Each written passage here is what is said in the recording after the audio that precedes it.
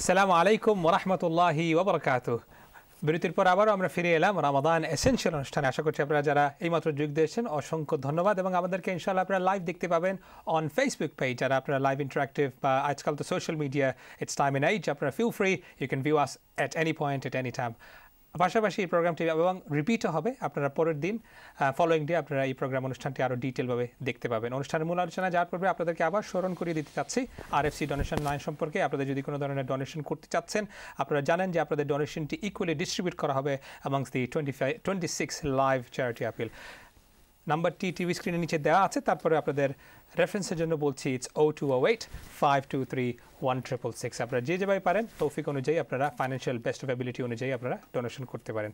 সঙ্গে আছেন আজকে অত্যন্ত শ্রদ্ধেয় আলিমে দিন যিনি হচ্ছেন আলাধার ইউনিভার্সিটির গ্র্যাজুয়েট এবং সম্মানিত ইমাম এবং খতিব শেখ খেদুর হোসেন। ওয়েলকাম ব্যাক আমরা অনুষ্ঠানে প্রথম সেগমেন্টে আমরা আলোচনা করছিলাম বিভিন্ন ধরনের প্রশ্ন পেয়েছি। আমরা তাহিয়াতুল মসজিদ থেকে শুরু করে তারপরে আমরা ইন্টেনশন সম্পর্কে আমরা জেনেছি। আমরা একটি জিনিস শুরু করছিলাম অনুষ্ঠান নিয়ে একটু আমাদের ইন্টেনশন নিয়ে বা আমাদের রামাদানটা কীভাবে রোজাটা কীভাবে রাখতে হবে। এই রিলেটেড আমরা কলটি আমি কলে আমি ইনশাল্লাহ যাব কিন্তু তার আগে আমরা একটি একটি জিনিস জেনে দিতে চাচ্ছি যে অধিকাংশ সময় আমরা দেখছি there is a difficulty amongst those in particular যারা আমরা শিখে আসছি। বিগত দিন দশ বছর বিশ বছর তিরিশ বছর হয়তো ফোর্টি ফিফটি ইয়ার্স ধরে আমরা একভাবে কাজ করেই যাচ্ছি। And all of a sudden আমাদেরকে একটি নতুন পন্থা বা নতুন একটি ওয়েতে ইন্ট্রোডিউস করা হয় যে এইটা হচ্ছে কারেক্ট ওয়ে এটা হচ্ছে বেটার ওয়ে তখন একটি কনফিউশনের একটি জায়গা সৃষ্টি হয়। এই অবস্থায় এইরকম কনফিউশনটাকে কীভাবে বেস্ট হ্যান্ডেল করা যায়? আপনি কি ওপিনিয়ন দেবেন? প্রথমে দিন শেখার জন্য কিন্তু ওপেন মাইন্ডটা রাখতে হবে। যে আমি বিশ বিশ বছর ধরে করে আসছি আসছি আমার বাবা বাবা মার কাছ থেকে এরকম শিখে আসছি আমাদের গ্রাম এইরকম করে আসছেন বিদায় এটা কিন্তু শরীয়তের কোনো হজ্জত দলিল না। আমাদেরকে দেখতে হবে যে এইরকম কাজটা কি আল্লাহ রসুল করেছেন। তাকে যারা অনুসরণ করেছিলেন তারা এরকম করেছেন। এটা কি আমরা সামনে রাখতে হবে? তার মানে হচ্ছে আমাদের অথেন্টিক সোর্স যে কোরআন এবং হাদিস আছে ওইটাকে সামনে রেখে আমরা এটাকে মাপকাঠি রেখে আমরা ওইটাকে নির্ধারণ করতে হবে যে এটা করা যাবে কি করা যাবে না। পাশাপাশি এটাও তো হতে পারে অনেক সময় মানুষ এটা আর্গুমেন্ট করে তাহলে কি আমাদের ফোর ফাদার্সরা আমাদের পর্ব কি বলে প্রিভিয়াস জেনারেশনকে ভুল করে গেছেন? হাউ উড ইউ আনসার তারা জানতেন না এটা আমরা বলতে পারব না। আমাদের যারা আসছিলেন আগে খুবই ভালো ধর্ম ইয়ে ধর্মপরায়ণ ছিলেন। কিন্তু যখন নতুন জিনিস আমরা আবিষ্কার করব যে আগে বললাম আমরা যে আমরা দেশের বাইরে গিয়ে দেখতে পাচ্ছি যে হ্যাঁ বিভিন্ন তরিকায় বুতির পড়া হচ্ছে যে নমাজে যাওয়ার আগে হাত কিন্তু তুলা দিয়ে রুকুতে যাওয়া হচ্ছে এগুলো সব শরীয়ত সম্মত হাদিস দ্বারা প্রমাণিত। এগুলো ডিসকভার করার পরে আমরা দেখতে পাই যে হ্যাঁ এগুলো আমরা করতে পারি। এবং যারা করেন নাই এর মানে নাই যে তারা জানেন নাই ওই জানতেন কিন্তু অন্যটাকে প্রাধান্য দিয়েছেন। তো এখন আমাদের ওপেন মাইন্ড থাকতে হবে যে হ্যাঁ অন্যদিকে মত আছে এই মতটা আমরা নিতে পারি ইনশাআল্লাহ। এবং কত ইম্পর্টেন্ট যেহেতু আমরা রামাদান মাসে আছে এবং রামাদান মাসেই কিন্তু কোরআন কিন্তু অবতীর্ণ হয়েছে। অ্যাজ মুসলিমস কতটুকু আমাদের জন্য ইম্পর্টেন্ট এলমটাকে বৃদ্ধি করা বা জেনে নেওয়া? তো ইলিম তলব করা যেটা আপনি বলতেছেন এটা তো অবশ্যই বাধ্যতামূলক। অনেকগুলো হাদিস আসছে যে আমাদেরকে বলা হয়েছে যে একবারে ছোটোকাল থেকে একবারে মৃত্যু পর্যন্ত আমাদেরকে ইলিম তলব করতে হবে। এখন প্রশ্ন হচ্ছে যে কতটুকু ইলিম তলব করতে হবে? আচ্ছা। মানে একটা কি সীমারেখা আছে? কি পাঁচক নমাজ শিখে নিলাম রোজা রাখতে পারি হজে যেতে পারি মোটামুটি মশলা মশাইল অনেকগুলো জেনে ফেলছি এটাই কি যথেষ্ট? না আপনাকে শিখতেই হবে মৌত পর্যন্ত। ইমাম আহমদ ইবনু হাম্বল যার নাম আপনি অনেক ভাই এবং বোনেরা শুনছেন ইমাম আহমদ ইবনু হাম্বলকে ওনার শেষ বয়সে দেখা হয়েছে যিনি একটু একটা লাঠি নিয়ে হাঁটতেছেন এবং হাঁটতে গিয়ে অনেক কষ্ট পাচ্ছেন মানে খুবই বৃদ্ধ। এরপরে হাতে ওনার কলম। তো একজন প্রশ্ন করল যে ইলা মাথা যে কখন আপনি এই যে ইলিম তালাশ করতেছেন, ইলিম তলব করতেছেন, কখন এগুলো বন্ধ হয়ে যাবে? তখন ইমাম আহমদ ইবনু হাম্বল উনি বলতেছেন যে যতক্ষণ পর্যন্ত না আমি কবরে যাচ্ছি, ততক্ষণ পর্যন্ত না আমার এই ইলিম তলব করা শেষ হবে। মানে জ্ঞান আপনার অর্জন করতেই হবে। আল্লাহ আল্লাহ রসুলের দেওয়া যে জ্ঞান, এগুলো আমাদেরকে অর্জন করতে হবে। এবং যতক্ষণ আমরা জ্ঞান হাসিল করতেছি এই গানের মধ্যে দিয়ে আল্লাহর সাথে কিন্তু আমরা আমরা সম্পর্কটা বৃদ্ধি করতে পারতেছি। যারা দেখবেন যে অল্প জ্ঞান অল্প জ্ঞান নিয়ে দিন সম্পর্কে অনেকগুলো মিস্টেক হয়ে যায় তাদের বাদতের ক্ষেত্রে। এবং এটাই আমরা দেখি কিন্তু যারা আলেম না বা যারা কোয়ালিফাইড কোনো ধরনের স্কুল থেকে এরকম কোয়ালিফিকেশন নেননি তারাই কিন্তু আমি দেখছি যে বেশি বিভিন্ন ফাতুয়া সম্পর্কে আইডিয়া দিচ্ছেন সোশ্যাল মিডিয়া থেকে বলছেন যে this is not allowed or you shouldn't be doing it without holding a proper qualification or without any proper knowledge তো এটা কিন্তু আমাদের জন্য it's a very very dangerous route to take about we commenting on something that we have no knowledge about এটা যদি আমি একটু similarity দিই এই দেশে আমরা যে বসবাস করছি আমি যদি কোয়ালিফাইড ডক্টর ডাক্তার যদি না হয়ে থাকি and if I prescribe a medicine, we know it's a punishable offense. If I'm not a lawyer and if I comment about legal aspect, then it's a very, very serious issue in this country. তাহলে ইসলাম সম্পর্কে মানুষ এত lightly কেন নেই যে একটি ফাতোয়া আমি বলে দিচ্ছি you don't need to ask a scholar মানে দিন নিয়ে আমরা যে গবেষণা করব অত্যন্ত গুরুত্বপূর্ণ কিন্তু গবেষণা করতে গিয়ে আমরা ইখতলাফে যে পরে না যাই এটাই কিন্তু খেয়াল রাখতে হবে। আচ্ছা, আচ্ছা, এবং ইখতলাফ করতে করতে এমন অবস্থা হয়ে গেছে আমাদের মধ্যে যে দ্বিমত হয়ে গিয়ে যাওয়ার পরে যে আমরা সমান টেবিলে বসতে পারতেছি না কথা বলতেছি না আমরা সালাম দিচ্ছি না একজন আরেকজনকে এইরকম হওয়া ঠিক না। আমরা যারা সাধারণ আলিম নয় তারা দিনী শিক্ষা ভালোভাবে নেই নাই আমাদের এই বিশাল মাসলা মাসাইল নিয়ে একতলাপ করার কোনো প্রয়োজন নাই। ভেরি ট্রু বাট এখানে আমি যদি একটি ব্যালেন্স আর প্রপোর্শন যদি রাখতে চাই, অনেকের আমাদের কলাররা কিন্তু এটা প্রশ্ন করেন, তাহলে তো আলামাদের মধ্যে তো অনেক ডিফারেন্সেস আছে। How would you address this issue হ্যাঁ আপনি যদি দেখেন উলামা একরামের মধ্যে যে ডিফারেন্সগুলো আছে, হক্কানি, রব্বানি উলামা একরাম যারা আছেন, দেখবেন যে এগুলা হচ্ছে যে কোরআন হাদিস সামনে রেখে ইখতলাফ। এগুলো। একাডেমিক ডিসকাশন আপনি আচ্ছা। কিতাব খুলে দেখেন যে ইমাম নবী রহমতুল্লাহ আলাই বলতেছেন ইমাম আবু হানিফা সম্পর্কে। যখন ইমাম আবু হানিফার নাম বললেন উনি সাথে সাথে বললেন রদি আল্লাহ আনহু। রদি আল্লাহ আনহু আমরা সাধারণত কার জন্য ব্যবহার করি? সাহাবাই কেরামের জন্য। কিন্তু উনি তাজিম তৌকির, এহতারাম, এইগুলা সম্মান দেখানোর জন্য ইমাম আবু হানিফা রহমতুল্লাহ আলহীকে কি বলতেছেন? রাদি আল্লাহু আনহু। কিন্তু আজকে দেখেন, আমরা দরবার আন্দোলন করতেছি একজন আরেকজনের সাথে ছোটো ছোটো মশলা নিয়ে। কিন্তু তাদের সময় এগুলো ছিল না। যারা হক্কানি আলিম, যারা দিন বুঝেন, কিন্তু অধিকাংশ সময় দেখা যায় কারা ইখতলাফ করতেছে। যারা দিন সম্পর্কে কিল্লাতুল আলিম অল্প জ্ঞান, এরাই কিন্তু দেখা যায় যে ইখতলাফ করতেছে। তার মানে আপনি চমৎকারভাবে একটি কথা বলেছেন যখন এক তারা যখন অন্য সৈয়কদের কথা বলছেন উইথ ডিউ রেসপেক্ট এবং কারোর কিন্তু পার্সোনাল ক্যারেক্টার নিয়ে কথা বলছেন না purely based on academic discussion তারা কিন্তু ডিবেট এবং ডিসকাশন করছেন। ইজ দ্যাট হ্যাঁ, কারেক্ট অবশ্যই অবশ্যই। অসংখ্য ধন্যবাদ। প্রিয় দর্শক আপনারা শুনছেন মার্শাল্লাহ কীভাবে শেখ এক্সপ্লিসিটলি এবং বিউটিফুলি এক্সপ্লেন করেছেন যে আমাদের যদি কোনো ধরনের ডিসকাশন হয়ে থাকে ডিবেট হয়ে থাকে বা কোনো ধরনের যদি মিসআন্ডারস্ট্যান্ডিং হয়ে থাকে let's make sure we stick to the topic আমরা যেন এটাকে যেন কোনো পার্সোনাল রিলেশনশিপে যেন কোনো ধরনের আঘাত যেন না দেয়, এমন যেন কোনো অবস্থা তৈরি না হয়, যার জন্য যে আমাদের সম্পর্কটা নষ্ট হয়। এই জিনিসটা আমাদেরকে ইনশাল্লাহ খেয়াল রাখতে হবে। নেক্সট কলারে যাওয়ার আগে স্মরণ করে দিতে যাচ্ছি আপনাদের আজকের RFC donation line number which is O two O eight five two three one triple six আপনারা যেভাবে যেভাবে চান please feel free to donate এবং আপনাদের ডোনেশনের মাধ্যমে টোয়েন্টি সিক্স লাইভ চ্যারিটি অ্যাপিলে ইকুয়ালি ডিস্ট্রিবিউট করা হবে। পরবর্তী কলার দেখি কি আছেন লাইনে আসসালামু আলাইকুম। ওয়ালাইকুম আসসালাম রহমতুল্লাহ। জি আপনি প্রশ্ন করুন। Same to you Ramadan Kareem too ইনশাআল্লাহ জাজাকাল্লাহ খের আমার আমার দুইটা প্রশ্ন ব্রাদার নম্বর ওয়ান আমি অসুস্থ মানুষ। আচ্ছা। নামাজ পড়তাম পারি না। আচ্ছা। চেয়ারে বসে নামাজ পড়ি আচ্ছা। আমি তারাবির নামাজ কি সাইড রাখাত করি করি করতে পারব উনি না পারতাম না মানে আপনি শুধু চার রাকাত পড়তে চাচ্ছেন এটা কি প্রশ্ন? না আমি বিশ রাখাতে করব কিন্তু নিয়তটা করব সাইড রাখাত সাইড রাখাত করিয়া। দুই রাখাত দুই রাখাত করে না করিয়া সাইড রাখাত সাইড রাখাত করি বিশ রাখাত পারব না okay is that clear to you okay ইনশাআল্লাহ ওকে ঠিক আছে বোঝা গেছে। জি। নম্বর নম্বর টু আর একটা প্রশ্ন আছে সরি জি। করুন। আরেকটা প্রশ্ন আমাদের ভাই আমার বাসায় এক সপ্তাহ আগে বেড়াইতে আসছিলেন আশি মাইল দূর থাকি। আচ্ছা। আমি টাউনের শহরের নাম না। আচ্ছা। আশি মাইল দূর থেকে আমার কাছে বেড়াইতে আসছিলেন আসছিলেন উনি উনি জানিয়ে আসছেন যে ওনারা ওই দিন রাত্রে আমার কাছে থাকবেন আচ্ছা। কিন্তু ওনারা জোহরের নামাজের আগে আমার বাসায় আসছেন আসিয়া জোহরের নামাজ পড়িয়া সাথে সাথে যায় নামাজের তাকিয়া অবস্থা আসরের নামাজটা পড়িয়া যা আচ্ছা। আবার মুগরিবের নামাজ পড়িয়া ওই মুগরিবের নামাজে যায়, নামাজে দাঁড়াইয়া এসা তখন আমি প্রশ্ন করলাম কীরকম হইল? ওনারা হইলেন এটা আল্লাহ আল্লাহ, আল্লাহর হুকুম আল্লাহ হুকুম এরকম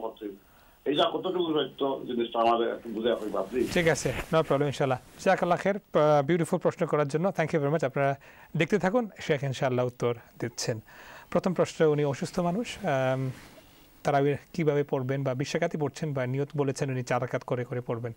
হাউ উড ইউ দিস প্রথমে অত্যন্ত গুরুত্বপূর্ণ প্রশ্ন পাইয়ে করছেন এবং আমরা দোয়া করি আল্লাহ রব্বুল ইজ্জতে আমার বাইরে শিফায়া আজিলা শিফায়া কামিলা নসিব হরক্কা বসে নমাজ পড়ার ব্যাপারে উলামা একরামের অনুমতি আছে এমত অবস্থায় যে তাই দাঁড়িয়ে নমাজ পড়ার হি সক্ষমতা নাই থান যদি শারীরিক তাকত না থাকে তাহলে এমতো অবস্থায় বইয়া নমাজ পড়া জাইজ আছে? আল্লাহ রসুলে হুইরা একটা হাদিসের মাঝে যে যে দাঁড়াইয়া নমাজ পড়তে পারেন না তাই বইয়া নমাজ পড়তে পারেন, যে বইয়া নমাজ পড়তে পারেন না তাই তান সাইডে শুইয়া নমাজ পড়তে পারেন এমতো অবস্থায়। অনুমতি আছে, কিন্তু খাল লাগে অনুমতি, যে আমরা দেখি অনেকগুলো মসজিদও, আমরা ইয়াং যারা যারা দেখা যায় যে রাস্তাঘাট বাজার কররা খরচ কররা দে- দৈনন্দিন জীবনের সব কাজে আঞ্জাম দিরা কিন্তু মসজিদও আইয়া চেয়ার লইয়া বই যায় না এটা কিন্তু গ্রহণযোগ্য নাই। একজনের সমর ব্যথা মেরুদণ্ডর সমস্যা এমতো অবস্থায় তাই চেয়ারও বইয়া নমাজ পড়তে পারেন তান লাগি রুখসত আছে। মানে ভ্যালিড রিজন থাকতে হবে এবং লাস্ট রিসোর্ট অনুযায়ী। তাহলে শরীর উজোর থাকতে হইব। শরীর আচ্ছা। উজোর বুঝ থাকিলে আপনি ডাক্তারের কাছ থেকে এক নম্বর পরামর্শ নিবা যে আপনি যদি রুকুত যাইন হয়তো সজদাত যাইন তাহলে আপনার সমর ব্যথা কিন্তু বৃদ্ধি হইতে পারে বাড়তে পারে। অনেকে আছি যারা আমরা সমরের সমস্যা নিয়ে বুক করতেছি নার্ভ সমস্যা যে একটা খাস সাতান আর অনেকে আমরা ইয়ে অপারেশন হয়েছে আমরা মেরুদণ্ডর মাঝে মতো অবস্থায় চেয়ার বইয়া নমাজ পড়ার তে কোনো অসুবিধা নাই ইনশাল্লাহ কিন্তু যারা থাকত আছে দাঁড়াইয়া নমাজ পড়ার এমত অবস্থায় চেয়ারে নমাজ পড়লে উলামা একরামে কইরা যে নমাজটা ফাসিদ নমাজটা গ্রহণযোগ্য নয় আহ, ভাইয়ে আ- আরও একটা প্রশ্ন করছেন যে সাইড রাখাত করিয়া নমাজ পড়া ঠিক আছে নি উইথিরর ব্যাপারে? জি আপনি সাইড রাখাত করিয়া নমাজ পড়তা পারেন তবে উত্তম হইল গিয়া দুই রাখাত করিয়া পড়া। কারণ সালাতু তারাউইহ তারাউইহ শব্দটা আসছে ইস্তরাহা থেকে। ইস্তরাহা আসছে রাহা থেকে মানে একটু ব্রেক নেওয়া। আপনি দুই রাখাত পরে পরে ব্রেক নেবেন। এবং আল্লাহ রসুলের জীবনী যদি আমরা দেখি খান ইউসাল্লি ফিন্নাহারি ওয়াল্লাইল রাখা রাকাআতেইন হাদিসে এরকম আসছে আউকামা কাল আলাইহিস সালাম, যে আল্লাহ রসুল যখন দিনের কোনো নমাজ পড়তা কিংবা রাত্রের কোনো নমাজ পড়তা, দুই রাখাত বিশিষ্ট নমাজগুলা পড়তা। তবে একজন উজর, উজ- উজরের যার উজর যিনি মাজুর সক্ষম না সাইড রাখাত যদি একলগে পড়তা চাইন, এতে কোনো বাধা নাই ইনশাআল্লাহ। উলামা ইকরামে এটারে মত দিয়েছেন এবং এটা প্রমাণিত আছে ইনশাআল্লাহ। অসংখ্য ধন্যবাদ। তারপরে প্রশ্নটি হচ্ছে যে আশি মাইল দূর থেকে ওনার একজন অতিথি করে এসেছেন এবং জোহর আসর কম্বাইন এবং মাগরিব এসে কম্বাইন করে পড়ছেন। এখানে এই মাসলাটি কীভাবে উত্তর দিচ্ছেন? প্রথমে যে জিনিসটা আমরা খেয়াল রাখার দরকার যে হানফি মজব এই আমলটারে জাইজ কারার দিছেন না। মানে আমাম আবু হানিফা রহমতুল্লাহ আলহি এবং তার সাথী ইমাম আবি ইউসুফ মোহাম্মদ ইবনু হাসান সেইবানী অধিকাংশ মহাক্কিক হানফি উলামা একরামের মতে সফরের অবস্থায় আল জাম ও বাইনা সালাতাইন মানে দুই নমাজরে একত্রিত করিয়া পড়া জামান ওয়া কাসরান একসাথে পড়া এবং কসর করিয়া আহ, কারার দিছেন না। অন্যত্র দেখা যায় ইমাম শাফি রহমতুল্লাহ আলহি ইমাম আহমেদ ইবনু হাম্বল এবং জমহুর উলামা ইকরামের মতে যে আটচল্লিশ মাইল অতিক্রম করার পরে একজন মানুষে যখন তার নিজ বাড়ি যেখানে তার মালিকানা ওতনে আসলি তরক করার পরে আটচল্লিশ মাইল যখন অতিবাহিত হইল তান্ডে মুসাফির হিসাবে গণ্য করা হয়। এরপরে তাইন জামান ওয়া কাসরান কর্তা ফারইন অর্থাৎ জোহর এবং আসর এবং মাগরিব এবং এশা, একসাথে পড়তে পারেন তাকদিমান আম তাখিরান জোর এবং আসর জোরও রক্ত পড়তে পারেন জোর এবং আসর আসরও রক্ত পড়তে পারেন উভয় আমলটা কিন্তু প্রমাণিত। বুখারি শরীফের মাঝে হাদিসটা আইছে খান নবী আলাইহি ওয়াসাল্লাম ইয়াজমাউ বাইনা যহরি ওয়াল আসরি ফি সাফারিহি ইলা থাবুক এই একটা হাদিস আমি আপনার সামনে তুলিয়া ধরলাম। এইরকম প্রচুর হাদিস আসছে হাদিস কিতাবগুলা আহ, খুললে পাওয়া যায় যে আল্লাহ রসুলে যখন থাবুকের উদ্দেশ্য হয়ে গেছেন থাবুক যাওয়ার পরে জোহর এবং আসরন নমাজটা একসাথে নমাজ পড়ছেন জামান মানে একসাথে, ও কাসরান এবং সাইড রাখাত বিশিষ্ট নমাজগুলারে দুই রাখাত করিয়া পড়ছেন। অতএব এটা হাদিস তারা প্রমাণিত আছে, যারা সফরের অবস্থায় জামান ও কাসরান করেন জোহর এবং আসর একসাথে পড়েন, এতে কোনো বাধা নাই ইনশাআল্লাহ। যখন দুইটা জিনিস দেব হইতো আল্লাহ রসুলরে তখন আল্লাহ রসুলে কোনটারে ইখতিয়ার করতা? যে একটা সহজ, সফরের অবস্থায় অনেক সময় দেখা যায় যে আমরা ক্লান্ত অনেকগুলা সফর দূরত্ব যাওয়ার কারণে দেখা যায় অনেকগুলা প্রেশার কষ্ট হইতে পারে। মতো অবস্থায় আপনি কম্বাইন করলে কোনো বাধা নাই। যারা হানফি মজবর অপিনিয়নটা নিতে চাইন পারেন আহ, ইনশাআল্লাহ উভয় মতটা গ্রহণযোগ্য মকবুল এবং উভয় মতটা হাদিস দ্বারা প্রমাণিত আল্লাহ আলম অসংখ্য ধন্যবাদ আশা করছি প্রিয় কলার আপনি আপনার প্রশ্নের উত্তরটি পেয়েছেন feel free to donate if you want like to O two eight five two three one triple six এবং আর এফ সি ডোনেশনের ডিটেল কিন্তু টিভি স্ক্রিন নিচে দেওয়া আছে ইনশাআল্লাহ পরবর্তী কলার কে আছেন লাইনে আসসালামু আলাইকুম ওয়ালাইকুম আসসালাম ওয়া রাহমাতুল্লাহি ওয়া বারাকাতুহু জি আপনি প্রশ্ন করুন আমি প্রশ্ন হইল গিয়া এই যে মাইয়েতকে গোসল দেওয়া যেটা কি তখন আমি একটু একটু শিখতাম চাইলাম যারা এক্সপিরিয়েন্স আছে যে তারা লগে তো গত সপ্তাহে আমি এখানে গেছিলাম শিখবার লাগি দেখবার লাগি। তো লাস্টে তো দেখলাম মহিলারা এই মাইয়েতের কপালের মাঝে আল্লাহ লেখতা চাইরা আমি কইলাম সেনে বলে একটা লিখে দেওয়া পালা তো ও জায়গাতে আমি আটটাই দিচ্ছি ভাই প্লিজ একটা করার যাইবে না আমার পছন্দ লাগে না একটা কোনো ছবি পাবে এটা লেখার দরকার আছে বলিয়া। আচ্ছা লিখতে চাচ্ছেন মানে কীভাবে লিখতে চাচ্ছেন? আতর দিয়া। আতর দিয়ে? জি। আচ্ছা ঠিক আছে ওকে প্রশ্ন ক্লিয়ার হয়েছে প্রশ্ন? আর একটা জিনিস যে কেউ মারা যাওয়ার পরে ও সকলেও বাঘ বাঘ করে করে কোরআন শরীফ খতম দেওয়া লাগি বাঘ। করে লিয়ে লাগি। জি। তারা কত কনফার্মেন্ট তো অন্য। হয় যে আমরা নবীর সময় কি? সাহাবের সময় বলান সবে মিলে যে খতম দেও লাগবো করে এগুলান আইছে না এটা কত তো ঠিক। আর যদি তসবির খতম ফরইন সেদিন আপনারা কইছেন যে তসবির খতম এক লাখ পঁচিশ হাজার। আমি লাখ আল্লাহর। দিকে তোমরা সব সময় লইতাম। এগুলা হিসাব হয়ে খতম ফুরানি লাগবো। এটা জি প্রশ্ন বোঝা গেছে ইনশাল্লাহ আপনি চমৎকার একটি প্রশ্ন এনেছেন এবং there is some misconception around this topic ইনশাল্লাহ আমাদের শেখ ইনশাল্লাহ উত্তর দিচ্ছেন। আপনি অনুষ্ঠানে দেখতে থাকুন এবং যদি ডোনেশন করতে চান O two eight five two three one triple say keep those donation coming in না Sheikh very important question let start with washing the dead body লিখতে চাচ্ছেন কপালে। It's something I have not come across about it perhaps you might if you can answer this um, কপালে অত্যন্ত লেখা। অত্যন্ত গুরুত্বপূর্ণ প্রশ্ন করছেন বইনে। যে এজন মানুষ দুনিয়ায় থেকে বিদায় নেওয়ার পরে যখন তান্ডে গোসল করা হয় তখন কোন কোন কাজ করার দরকার? এবং আমার কাছে লাগে যে আমার বইনিকে কিছু প্রশিক্ষণ করা এবং অত্যন্ত গুরুত্বপূর্ণ। her. হ্যাঁ। এবং আমরা এটাকে কিন্তু আমরা ইয়ে করি ইয়ে ওয়েলকাম করি। এই কারণে যে আমরা জানার অভাব কিন্তু এবং আমরা মা বোন যারা যদি এ ব্যাপারে আহ, আরও একটু ইয়ে হইন সচেতন হইন তাহলে ইনশাআল্লাহ পরের পরের জেনারেশন যারা আইব তারা লাগি খুবই সহজ হইব এই বিষয়টা জানা। খোফালো আত্মর দি আল্লাহু লেখা ইটা হাদিস এবং আল্লাহ রসুলের জীবনী থাকি প্রমাণিত নাই। দুঃখর বিষয় হইল গিয়া যে জিন্দা থাকতেও মানুষ বেদাত থেকে মুক্ত নাই। দুনিয়া থেকে বিদায় নেওয়ার পরেও মানুষটা কিন্তু বেদাত থেকে মুক্ত নাই। মানে বেদাত এমন অবস্থাতে ইন্তেসার হইছে প্রসার হইছে। আজকে দেখো একজন মানুষ দুনিয়ায় থেকে বিদায় আহ, আমরা চেষ্টা করার দরকার যে এই মানুষটারে সুন্নত অনুযায়ী আল্লাহ রসুলে যেরকম মানুষের খৈবর দিছন এইরকম খৈবর দেওয়ার দরকার দাফন করার দরকার যাতে করিয়া এই মানুষটা আল্লাহ আল্লাহ রব্বুল ইজতের কাছে চলে যায় মানে বর্জকর জিন্দেগি তার শুরু হয়। কিন্তু সেই স্থানে গিয়েও দেখা যায় যে মানুষটারে গোসল দিতে গিয়ে মানুষে অনেকগুলা বেদাত করে। আরও প্রচুর বেদাত যেগুলা আছে। তবে এইটা আমি কিন্তু এই প্রথম শুনলাম যে আত্মর দিয়া খোফালো হয়তো একজন মানুষের কোনো কোরআন শরীফের আয়াত কিংবা আল্লাহর নাম দেওয়া, এগুলার কোনো আসল নাই এই শরীয়ত। এবং এগুলা যেন খররা এন গুণাগার ওইবা এবং আমার বইনে কিন্তু সুন্দর কথা কইছেন যে তাই নিকটার এনকার করছেন এবং মানুষের সচেতন করার দরকার যে এগুলা হাদিস দ্বারা প্রমাণিত নয়, আল্লাহ রসুলের জীবনী তান সাহাবাই কেরামের জীবনী দ্বারা মুঠেই এগুলা প্রমাণিত নয়। যারা এগুলা করেন, মুর্দার কোনো সমস্যা নাই। মুর্দা তাই দুনিয়ায় থেকে বিদায় নিছন কি থান আমল নামা বন্ধ হয়ে গেছে।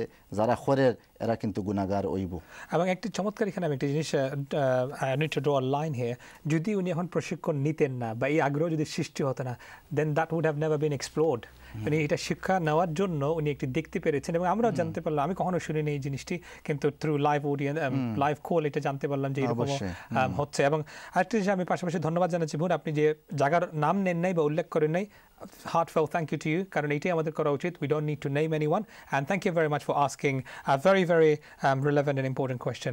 Second প্রশ্ন ছিল ওনার এই যে এই যে যখন কেউ মারা যায় আমরা যে বন্টন করি যে আপনি দশ পারা পড়বেন বা আপনি এক জুস পড়বেন আপনি অমুক পড়বেন এবং এরা এন গ্রুপ দেখি যে আমাদের একটা সাবকন্টিনেন্ট একটি কালচার আছে যে গ্রুপ অনুযায়ী খতম করে দেয়। একজন না করে সবাই ইন গ্রুপ করছেন এবং তারপরে এমন এমন দোয়া আছে দুরুদ আছে যে এক লক্ষ পঁচিশ পঁচিশ হাজার বা দুই লক্ষ বার I mean how would you answer this question একজন মানুষ দুনিয়ায় থেকে বিদায় নেওয়ার পরে যার আত্মীয় স্বজন যারা আছেন, দুনিয়াতে রেখে গেছেন, তারা এরকম ইজতেমাই করে মানে একত্রিত হয়ে এরকম কোনো কাজ করা, এটা কিন্তু সুন্নত দ্বারা প্রমাণিত নয়। যে কোরআন শরীফ কিন্তু পড়া অত্যন্ত ভালো কাজ এবং এই কাজটা কিন্তু অত্যন্ত বরকতময় এবং সবের কাজ। কিন্তু কী রকম কোরআন পড়ব এটা কিন্তু হাদিস শরীফে আসছে যে আপনি একা পড়েন। একা পড়ে কোরআন শরীফ তেলাওয়াত করার পরে আপনি হাত তুলে দোয়া করেন। আপনার যিনি বিদায় নিছেন ওনার জন্য আপনি দোয়া করেন। মানে কোরআন বিদায় যিনি নিচ্ছেন তার জন্য পড়া যাবে না। না তবে আপনি পরে আপনি তার শেষে দিই। দোয়াটা কবুল হওয়ার জন্য আপনি ভালো কাজ করে করলেন প্রথমে। এটা কিন্তু ঠিক আছে। এটা শরীয়ত সম্মত যে দোয়া কবুলের জন্য আপনি আগে একটু ভালো কাজ করলেন তখন আপনি আচ্ছা। হাত তুলা দিলেন যে ইয়া আল্লাহ আমি তো কোরআন শরীফ পড়লাম তোমার কালামটা পড়লাম। এখন এই যে আমার বাবা দুনিয়া থেকে বিদায় নিয়েছেন আমি আমার মা নিয়েছেন আমি ওনার জন্য দোয়া করতেছি আমার দোয়াটা কবুল করো। তো এই মতো অবস্থায় আল্লাহ রব্বুল ইজ্জত খুশি হন। কিন্তু আমরা এই যে পদ্ধতি যেগুলো অবলম্বন করতেছি এগুলো সুন্নত সম্মত না বরং এগুলা বেদাত এগুলা দেখা যায় যে আমাদের উপমহাদেশের কিছু বইতে এগুলা মিলে। যে আপনি পাবেন যে যেগুলো এই জানাজার অধ্যায়ে গিয়ে আপনি পাবেন যে মৃত্যু ব্যক্তি মারা যাওয়ার পরে বিশিষ্ট একটা সংখ্যা দেওয়া হয়েছে যে এক লাখ ইয়ে পড়বেন দুরুদে ইউ- ইয়ে ইয়ে দোয়া ইউনুস পড়বেন লাইলাহ ইল্লা আন্তা সুবাহানাকে ইন্নি কুনতুম একশো বার পড়তে হবে। তো কিছু কিছু ইয়ে করে দিলেন দোয়াগুলো মোয়াইন করে দিলেন। এগুলো মুঠেই আসল নাই আমাদের। এগুলা নিয়ে আমরা ব্যস্ত নকল নিয়ে ব্যস্ত। আসল থেকে আমরা অনেক দূর। আসলটা কি? আসলটা হচ্ছে যে আমরা ওনার জন্য দোয়া করব ওনার জন্য ভালো ভালো কাজ করব যেগুলা উনি পাবে দুনিয়ায় থেকে যাওয়ার পরে। কিন্তু আমরা আসল তরক করে আমরা নকল নিয়ে ব্যস্ত। মানে কোনটা তিনটা জিনিস পাবেন ওনারা যাওয়ার পরে একজন মুর্দা বা একজন মানুষ এই যে ইন্তেকাল করার পরে? হ্যাঁ যেটা হাদিস শরীফে আসছে ইজা মাতা ইবনু আদম ইনকাতা আমালুহু যে যখন বনি আদম মানে যে ইয়ে মখলুক একজন মানুষ দুনিয়া থেকে বিদায় নেয় তার আমল নামা কিন্তু বন্ধ হয়ে যায়। ইল্লা সালাস তিনটা জিনিস ব্যতীত যে উনি ভালো কাজ করে গেছেন দুনিয়াইতে এটার একটা অংশ পাবেন। ওয়ালাদুন সালেহ ভালো নেগার নেকগার ছেলে মেয়ে রেখে গেছেন তারা যখন ভালো কাজ করবে একটা অংশ পাবেন। আউসাদ খাতুন জারিয়া কিন্তু হয়তো একটা মসজিদ মাদ্রাসা গঠন করে গেছেন এগুলার একটা অংশ উনি পাবেন। আর বাকি অন্য ছাড়া আর কিছুই এরপরে এগুলা কিছুই মোটে প্রমাণিত নয়। আরেকটি জিনিস হচ্ছে আমরা এই যে এক লক্ষ বার পড়া বিশ লক্ষ বার পড়া এগুলো তো কিন্তু হয়তো অন্য ধর্মে থাকতে পারে। ইসলাম ধর্মে এরকম আপনি চমৎকারভাবে বলেছেন যে এরকম কোনো আইন করা না। আরেকটা জিনিস আমরা দেখেছি যে কোরআন তো আসছে জীবিত মানুষের জন্য। কিন্তু এখন আমরা দেখছি জীবিত মানুষ কিন্তু কোরআন পড়ছেন না। কিন্তু মারা যাওয়ার পরে কোরআনে কিন্তু এই কোরআনটা কিন্তু ওই টপ লেভেলের যে শেলফটা আছে ওইখান থেকে কোরআনটা বের করে যিনি মারা গেছেন তার জন্য পড়া হচ্ছে। মানে হাউ বিজার ইজ দিস এগুলো কিন্তু যেটাকে আমরা সাধারণত উর্দুতে বলি গলত মশহুর। জিনিসটা কিন্তু গলত রং মানে খাতা এগুলো গ্রহণযোগ্য না। কিন্তু মানুষ করে আসছে বিদায় এটা মশুর হয়ে গেছে। এর পরের জেনারেশন আওয়ার পর এরা ভাবতেছে যে না এগুলো তো মানুষ করতেছে বিদায় এটা জাইজ আছে। কিন্তু আসলে এটা কিন্তু গ্রহণযোগ্য না। এবং এখানে তারপরে অনেক জিনিস আছে আমাদের মাহরাম নন মাহরাম নিয়ে ইস্যু আছে। কিন্তু এখানে মহিলারাও পড়ছেন এখানে পুরুষরাও আছেন এখানে পর্দার বিষয়গুলো আছে। একটু আমাদেরকে খেয়াল রাখা উচিত না? হ্যাঁ অবশ্যই আমি আপনি এখন ধরেন একটা মুস্তাহাব কাজ। মুস্তাহাব কাজ আপনি করতে গিয়ে আপনি ওয়াজিব লঙ্ঘন করলেন ফরজ লঙ্ঘ- লঙ্ঘন করলেন এটা তো হতে পারে না। আপনার ফরজ ওয়াজিব জায়গাতে থাকবে তারপর আপনি মুস্তাহাবকে কাজে লাগাবেন। অসংখ্য ধন্যবাদ। আশা করছি ইনশাআল্লাহ বোন আপনি আপনার প্রশ্নের উত্তরটি পেয়েছেন ইনশাআল্লাহ। And if you feel would like to donate at R F C please feel free O two eight five two three one triple six এবং ইনশাআল্লাহ আপনার ডোনেশনটি টোয়েন্টি সিক্স লাইভ চ্যারিটেবলে ইকুয়ালি ডিস্ট্রিবিউট করা হবে। ইনশাআল্লাহ আশা করছি আপনি আপনার প্রশ্নের উত্তর পেয়েছেন। যাচ্ছি পরবর্তী কলার কে আছেন লাইনে। আসসালামু আলাইকুম। আসসালামু আলাইকুম। ওয়ালাইকুম সালাম রহমতুল্লাহ। জি প্রশ্ন করুন। জি আমার দুইটা প্রশ্ন। জি। ওই শুক্রবারে যে আমরা চূড়া কাপ পড়ি আচ্ছা। ওই ওইটা ধরেন আসলে তো শুক্রবার বৃহস্পতিবারের রাত্রে এসে যায়। বৃহস্পতিবারের রাত্রে অথবা তাহাজুদের সময় পড়লে কি হবে? না ওই ফজর নামাজের পর ফরজ ফজর বাদে পড়তে হবে। ওকে ঠিক আছে প্রশ্ন বোঝা গেছে। আর- দ্বিতীয় প্রশ্ন হলো ওই যে মুরিদ সম্বন্ধে অনেকে যে বলেন মুরিদ ধরা উচিত। মুরিদ তোমার এটা কত বড় ইসলামে মানে কত এই ধরনের কোনো কতটুকু মানে আপনি আপনি কি আপনি জাস্ট একটু just for sorry for the interruption জানতে চাচ্ছি আপনি কি বলছেন মুরিদ ধরা? এটা আপনি বলেছেন শব্দ।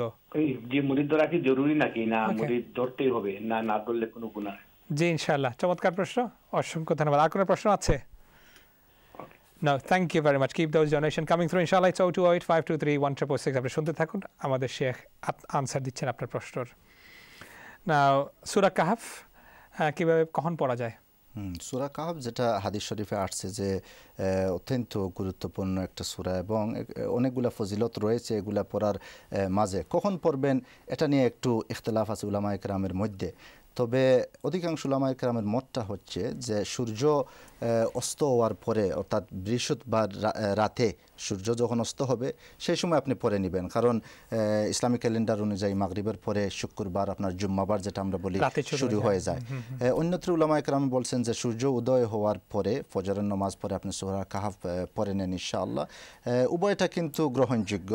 সেফ সাইড থাকলে ফজর নামাজ পড়েই তো হয়ে গেল। হ্যাঁ, দুটোটা কভার হ্যাঁ, হয়ে গেল। কারণ ফ্রাইডে তো কিন্তু শুরু হয়ে গেছে বৃহস্পতিবার সূর্য অস্ত হওয়ার পরে তো আপনি পরে নিলে হবে ইনশাআল্লাহ। এবং ফজর নামাজ পড়লে কত লাগে? Fifteen minutes ten fifteen minutes লাগছে তাহলে তখন দুটোটা এবং জুম্মাবারের প্রস্তুতির জন্য যখন আপনি এমনি প্রস্তুতি নিচ্ছেন ফাঁকে ফাঁকে আপনি হয়তো দশ পনেরো মিনিট আপনি পরে নিলেন আলাদা একটা ফিলিং থাকবে ফ্রেশ একটা ফিলিং থাকল আপনি মসজিদে যাওয়ার আগেই পরে নিলেন ইনশাআল্লাহ। তবে উভয় পন্থাতে জাইজ কোনো বাধা নাই ইনশাআল্লাহ। আপনি বৃহস্পতিবার রাতে পড়তে পারেন আর না হয় ফজরের সূর্য উদয় হওয়ার পরে ইনশাআল্লাহ পড়তে পারেন আর আরেকটা জিনিস জানতে চাচ্ছি যদি কেউ হয়তো টাইম টাইমের কারণে পড়তে পারেনি। জুমার পরে পড়েছে বা ওই আসে মাগরিবের পরের দিনের মাগরিবের আগে পড়েছে সূরা কাহফ। তাহলে কি পড়া যাবে? কোনো অসুবিধা হবে না ইনশাআল্লাহ। তবে উত্তম যেটা হচ্ছে যে আমরা বলব জুম্মা হচ্ছে জুম্মার নামাজের আগেই পরে নিলে উত্তম ইনশাআল্লাহ। অসংখ্য ধন্যবাদ। পরবর্তী প্রশ্ন হচ্ছে এই মুরিদ।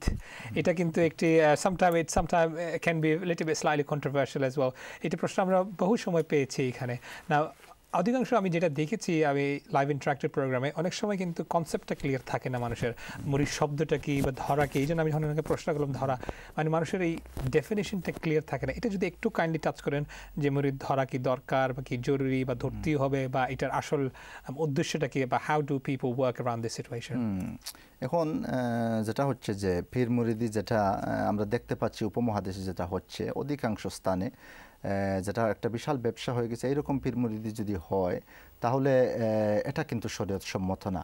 আপনি যদি পীর মুরিদি কিংবা মুরিদ এর অর্থ যদি মনে করেন যে আপনি একজন ভালো আলিমের কাছে যাবেন ওনার কাছ থেকে ফায়দা হাসিল করবেন শিক্ষা নেবেন দিনই শিক্ষা নেবেন তাহলে এটা ঠিক আছে ইনশাআল্লাহ। আল্লাহ রব্বুল ইজত কোরআনে বলতেছেন ফাস আলু আহলা দিকর ইন কুনতুম লা তা'লামুন। আহলে দিকের আহলুল ইলম যিনি শরীয়ত সম্পর্কে জানেন ওনার কাছে যান গিয়ে শিখেন। কিন্তু আপনি যার কাছে গেলেন উনি শরীয়ত জানেন না শুধু মারিফত নিয়ে ব্যস্ত তাহলে এটা হতে পারে না। অনেক আহ, যেগুলো যারা আছেন মারিফত নিয়ে অনেক ব্যস্ত, কিন্তু শরীয়তের ক্ষেত্রে ওনার অনেক ঘাটতি আছে। এইরকম পীর মুরিদি শরীয়ত সম্মত না, গ্রহণযোগ্য না।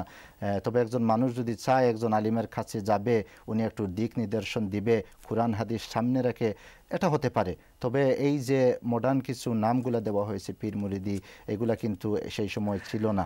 মানে এটা এটাকে অ্যাকচুয়াল টাইটেলকে অ্যাবিউজ করা হচ্ছে বা ইভেন আমরা দেখেছি বিভিন্ন বিভিন্ন সময় পত্রিকাতে অনেক ধরনের ফ্রড হচ্ছে অনেক ধরনের স্ক্যাম হচ্ছে অনেক ধরনের আমরা পেয়েছি even from female college lot of I mean abusive things we have heard we have seen and এটা নিয়ে অনেক কেসেসও কিন্তু হয়েছে। এই জন্য আমাদেরকে একটু খেয়াল রাখা উচিত না যে কেউ যদি এরকম প্রক্লেম করে যে আমি মুরিদ বা আমাকে এখান থেকে নিতেই হবে মুরিদি বা এরকম যদি কোনো ল্যাঙ্গুয়েজ ইউজ করে should be not consult a qualified আলেম to get an answer to this question আমি যেটা আগেই বললাম যে যিনি পীর হবেন যিনি আপনার গাইড হবেন যিনি আপনাকে দিক নির্দেশন দেখাবেন কোরআন হাদিস সামনে রেখে উনার যদি শরীয়তে ঘাটতি থাকে উনি মারিফত নিয়ে খুবই ব্যস্ত এই যে আত্মাধিক কিছু কথাবার্তা এগুলো নিয়ে খুবই ব্যস্ত কিন্তু উনার নিজের শরীয়তের কোনো খবর নাই এমতো অবস্থায় ওনার সাথে তো আমার মোটেই সম্পর্ক হয় নাই। তবে আমি প্রথমেই আবার বললাম যে বিশাল একটা ব্যবসা হয়ে গেছে পীর মুরিদি এবং আহ, এই ব্যাপারে দেখা যায় আমাদের মা বোনরা কিন্তু খুবই.